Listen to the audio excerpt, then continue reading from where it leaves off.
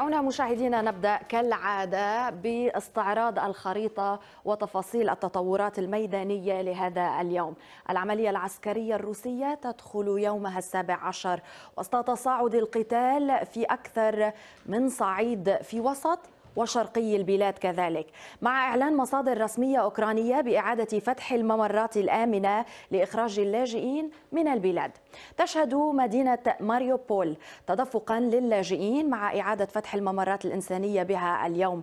هذا وتعرضت مدن خاركيف وتشيرنيهيف وسومي لقصف روسي بالصواريخ. وسط دعوات من أوكرانيا لوقف هذه الضربات. في مدينة كييف مشاهدينا العاصمة.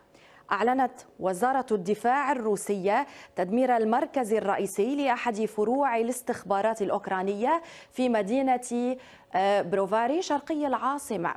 والمطار العسكري في فاسلجيف وفي مدينة لوغانس كذلك. أعلنت القوات الأوكرانية قصف أربع مراكز سكانية وهو ما أدى لإلحاق أضرار بعد بعدد من المباني السكانية.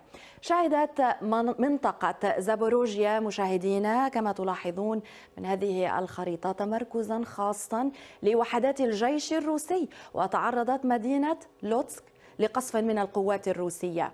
تعرضت أيضا مدينة إيفانو فارن كيفسك للقصف من القوات الجوية الصاروخية الروسية وسط توقعات باستمرار حالة التصعيد الأمني بالمدينة.